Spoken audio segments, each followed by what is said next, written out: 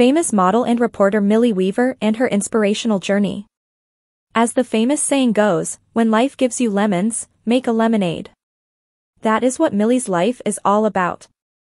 Millie Weaver life inspires us to continuously strive for a better world.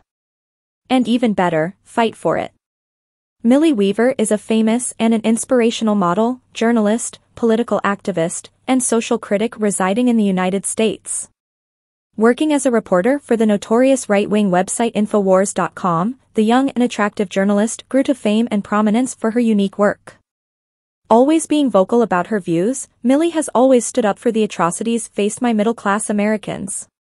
Weaver, also known as Millennial Millie, is a famous social media influencer with over 100,000 YouTube subscribers and over 35,000 Twitter followers.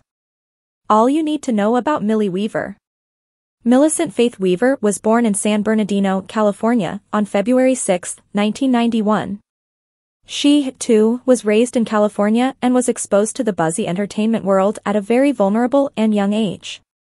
She worked as a freelance model as a youngster and even had the opportunity to walk on the red carpets with famous celebrities and superstars.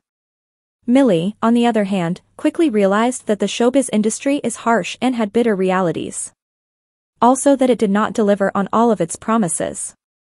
The atmosphere of Hollywood, where she yearned and desired to express her strong beliefs, was diametrically opposed to her social and political principles. Because of which she made the powerful and strong decision to move.